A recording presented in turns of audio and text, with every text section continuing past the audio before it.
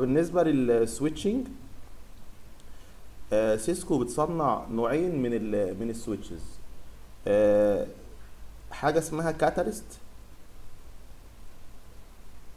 ده كده الاسم التجاري. يعني مثلا تلاقي في سامسونج يقول لك إيه جالاكسي مش عارف كذا. آه، تلاقي مثلا في سوني يقول لك اكسبيريا مش عارف إيه زد 1 وزد 2 وهكذا.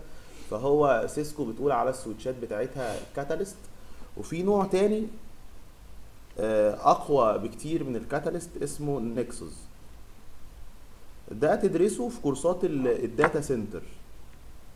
يعني في كورسات اسمها سي سي ان اي داتا سنتر سي سي ان بي داتا سنتر وسي سي اي اي داتا سنتر. فبيركزوا أكتر على النكسوس ده إمكانياته عالية لكن إحنا تركيزنا في كورس السي سي ان اي بيبقى على ال- الكاتاليست. طيب سيسكو بتصنع موديلات كتير برضو من الكاتاليست ده.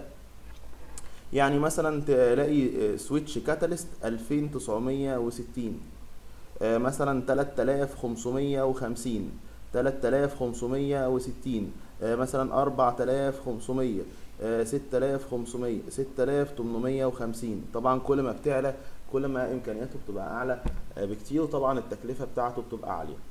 تمام؟ إحنا أكتر واحد هنشتغل عليه وهنركز عليه في الكورس اللي هو ال 2960 وبرضه هنشتغل على ال 3000 في 3000 3560 هنعرف إن ده لاير 2 سويتش والتاني ده لاير 3 سويتش اللي هو 3560 هنشوف ده وهنشوف ده يعني.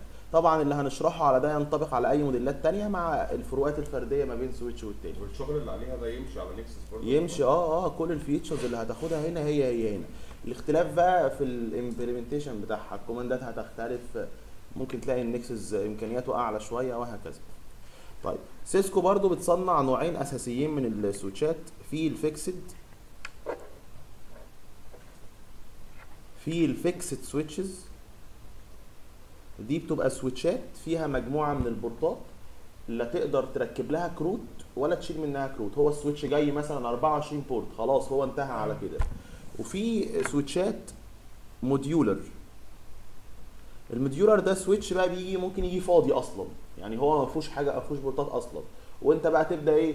تركب له وتظبطه بمزاجك بقى.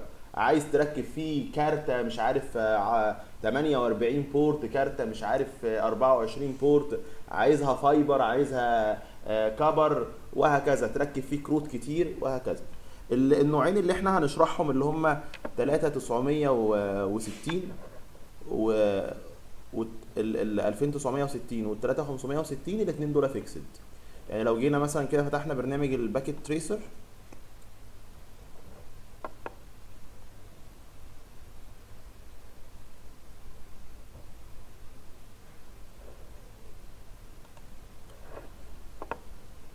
ودخلنا بقى على الجزء الخاص بال switches هتلاقي ادي ال 2960 هنا مثلا في ال 2950 الفرق ما بينهم إيه؟ ال 2960 لو أنت فتحته كده هتلاقي ده طبعا فيكس ده. ما ينفعش أركب له كروت ولا أشيل منه كروت. آه، هتلاقي فيه 24 port وحاطط لك على اليمين كده بورتين دو- دول ال 24 دول سرعتهم 10 100 ود- ودول جيجا. هتلاقي مثلا ال 2950 ما فيهوش ال 2 الجيجا اللي على على الجنب دول. وده التلاتة 560 هنعرف كمان شوية إن ده layer 2 switch وده يشتغل كمان أو multilayer switch يشتغل layer 2 يشتغل- يعني ده ممكن نشغله راوتر بس هنشوف استخدامه إيه في الواقع. العملي تمام كده؟ طيب. ده برضو نفس الكلام في 24 port وفي 2 port هنا آه، ده لا لا مش محطوط فيه النت تمام؟ طيب. يبقى ده بالنسبة للموديلات المختلفة من السويتشات. آه هنبدأ بقى نشوف ال- إزاي نتعامل مع هذه ال switches. آه بيفرق طبعا switch عن التاني في إيه؟ بيفرق switch عن التاني في السرعة بتاعته. طبعا ممكن يبقى 10 ممكن يبقى 100 ممكن يبقى 1000 في سويتشات بتوصل. لو هي copper آخرك 40 جيجا آه. ال speed بتاعتنا 10 100 لحد 1000 لو copper آخرك 40 جيجا في بقى السويتشات ال fiber اللي هي الفتحات بتاعتها fiber تبدأ برضو معاك من 10 بس دي بتوصل لإيه؟ بتوصل ل 100 جيجا. تمام كده؟ طيب. آه بيفرق برضه switch عن التاني في ال number of ports عدد البورتات اللي فيه. كل ما عدد البورتات يزيد كل طبعا ما أكيد التكلفة هتبقى آه أعلى. آه بيفرق كمان في إيه؟ في بعض ال features بقى. يعني مثلا من ضمن ال features حاجة اسمها PoE Power Over Ethernet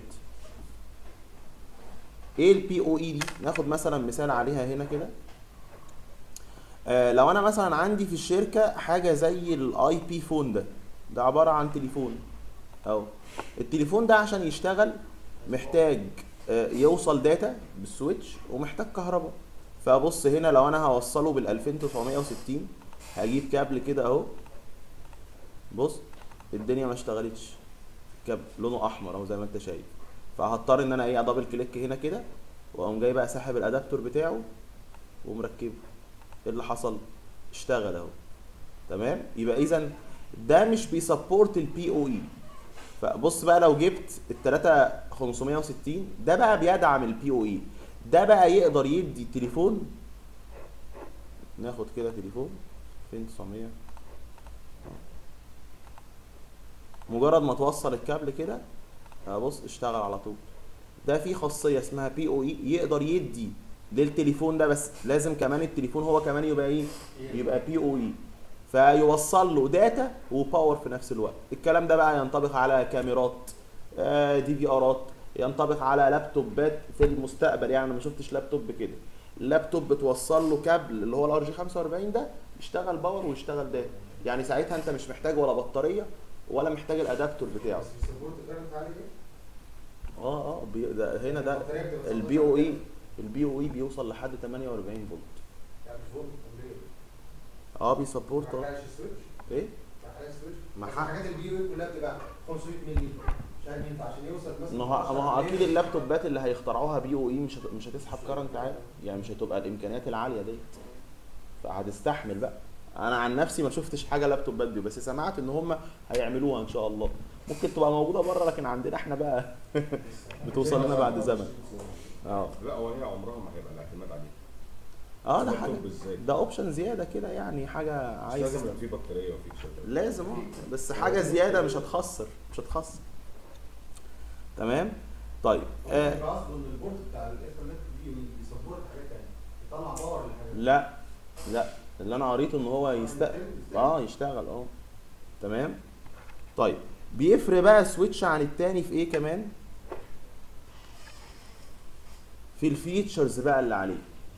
هتلاقي بقى مثلا حاجة هندرسها مع بعض ودي أول حاجة هنبدأ بيها اسمها VLANs طبعا دي هتلاقيها موجودة على السويتشات المحترمة. حاجة اسمها Spanning Tree Protocol STP حاجة اسمها VTP حاجة اسمها DTP حاجة اسمها EtherChannel أو Link Aggregation هتلاقي بقى حاجة اسمها Port Security حاجة اسمها DHCP Snooping حاجة اسمها Dynamic ARP Inspections وهكذا. ممكن بقى أنت تلاقي إيه مثلا؟ ممكن تلاقي ال switch ال 2960 ده آه، مثلا مثلا مش بي support ال Dynamic ARP Inspection.